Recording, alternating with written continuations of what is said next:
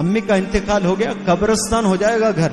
महल रहेगा आपका दस करोड़ का, लेकिन वो दस करोड़ का घर भी कब्रस्तान हो जाएगा।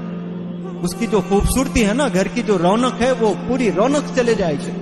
जब है, कोई कदर ही नहीं है। फ्री में मिले है ना, जब चले जाएँगे, तब पता चलेगा। ईद आएगी, पता चलेगा। अम्मी होती तो शेरखुरमा बनाती थी, सवैया बनाती थी सुबह सुबह जो है रोटी बनाती थी। आठ बच्चे तो आठ बच्चे का नाम लेके इसको ये चीज़ पसंद, इसको ये चीज़ पसंद, इसको पापड़ पसंद, इसको गोश्त पसंद, इसको दही पसंद, इसको अचार पसंद, नाम ले लेकर सबके अलग अलग खाने खिलाती थी।